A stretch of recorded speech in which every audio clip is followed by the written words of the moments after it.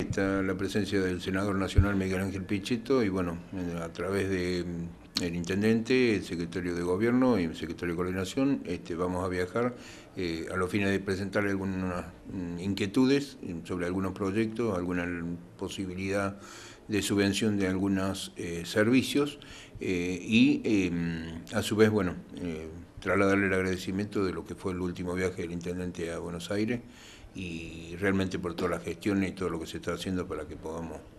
despegar. Bueno, y hay obras también previstas para los próximos días pese al mal tiempo. Pese al mal tiempo sí, se van realizando las tareas que normalmente venimos, desgraciadamente la lluvia ha hecho daño en lo que estamos haciendo, las cunetas que se están haciendo sobre la avenida San Martín, pero bueno, eh, sabemos lo que son las consecuencias climáticas y vamos a tratar en lo posible de ir este, solucionando la problemática. Eh, a su vez, bueno, está ya el anuncio que hizo el intendente, las 82 cuadras de asfaltado, que va a estar prevista para la primavera, eh, mm, hace específicamente la 25 de mayo, desde la Pueyrredón hasta donde está el faro, y este, como referencia, y después todas las calles que atraviesan desde la San Martín hasta la 25 de mayo. La calle Rivadavia en su totalidad, con todas las calles de acceso, ¿no es cierto? Eh, y se había presentado un nuevo proyecto de 3.300 metros, que es la calle Los Pioneros y Las Heras, de punta a punta, como para poder este, eh, solucionar un problema de transporte, para mm, aligerar el transporte, ¿no es cierto?, liviano y el transporte pesado que pueda transitar por esos lugares.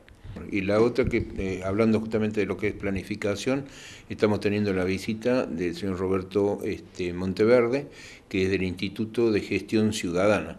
están recorriendo en este momento ya en el inicio de lo que sería el plan estratégico del cual veníamos hablando desde hace poquito tiempo. Y bueno, hoy ya se están poniendo en práctica, hay distintas reuniones, ayer, hoy también va a haber reuniones y mañana. Este, lo importante es que a través de eso también sale de la planificación este, que hubo un veto que a lo mejor algunos pudieron cuestionar con relación a la ubicación de un corralón. Este, se están haciendo los estudios, estamos trabajando en la planificación urbana y este, se va a zonificar nuevamente en un sector para que no se genere ningún tipo de inconveniente. Y que los corralones, que eh, trabajan en la comarca tengan el lugar donde poder instalarse.